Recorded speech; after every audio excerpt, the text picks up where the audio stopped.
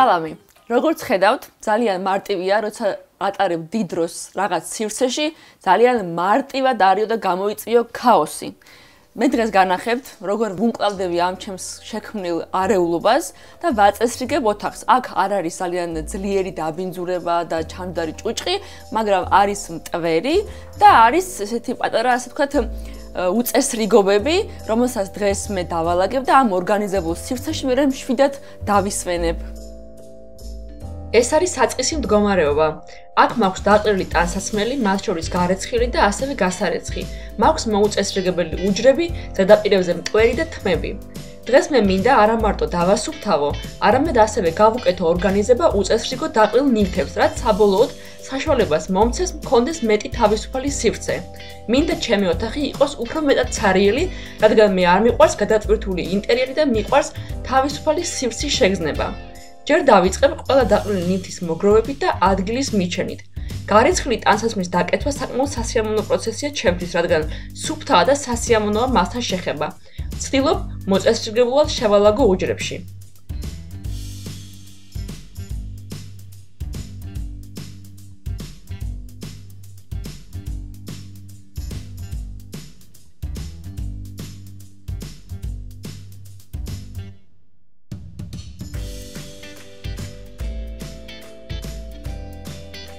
დასუფთავების წინ ზედაპირებს მოვაცილებ ყველანაირ ნივთს, რაც ზემოდან დევს და ხელს მიშლის წმენდაში.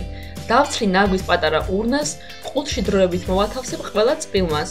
ბუნებრივია აღმოჩნდა, რომ მათ ქვეშ მტვერია და მთლიანად თუ არ ავალაგე ყველაფერი, შესაბამისად ვერ გავწმენდ. თეთრეულის გამოცვლა ასევე შედის ჩემ დღევანდელ სამუშაოებში.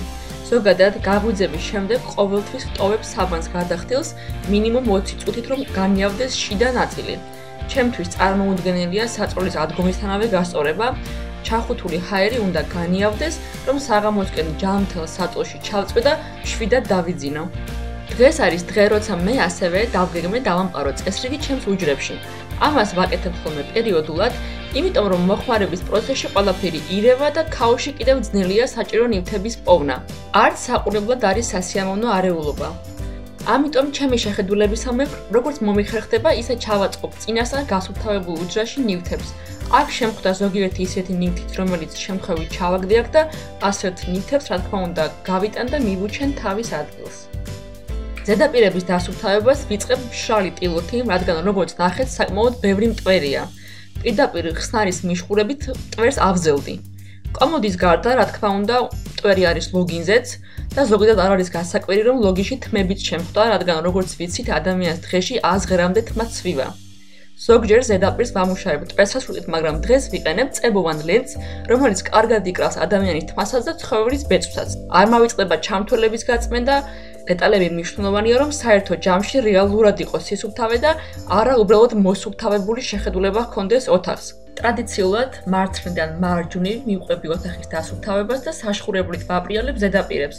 ჩემს საყვარელ სარკესაც გავაპრიალებ, რომელშიც ხშირად ვიჭყიტები, ხოლო ფანჯრის შუშას ხელის სიმაღლეზე ვწმენდ, რადგან დღეს არ მაქვს გენერალური დასუფთავება. ოთახის დასუფთავება, რა თქმა უნდა, სრულდება მტვერსასრუტით და სველი წმენდით.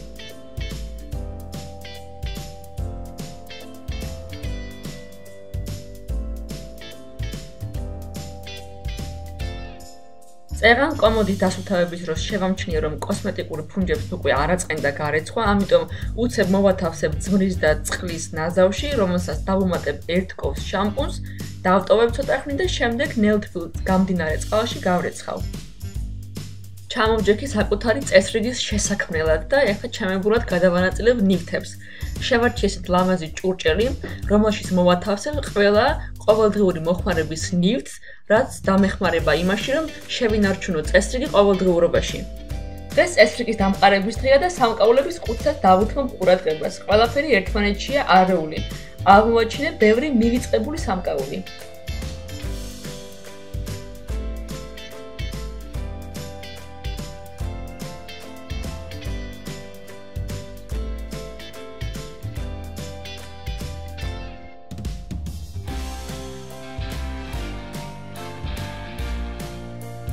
სუფთა თეთრეულის გადება ცალკე სიამოვნებაა, ალბათ არა მარტო ჩემთვის, აი გიждდები სუფთა თეთრეულზე და სისუფთავის სუნზე რაც მას აქვს. დასვენებაც უფრო ნაყოფიერი ხდება და ძილიც უფრო ეფექტური.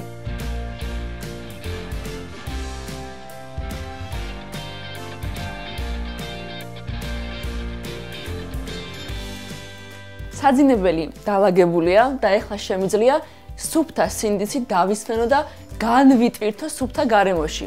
თუ თქვენთვის სასიამოვნო იყო ამ ვიდეოს ყურება, მოიწონეთ და რა თქმა უნდა გამოიწერეთ ჩვენი არხი, რომ უყუროთ კიდევ უფრო საინტერესო ვიდეოებს მომავალში.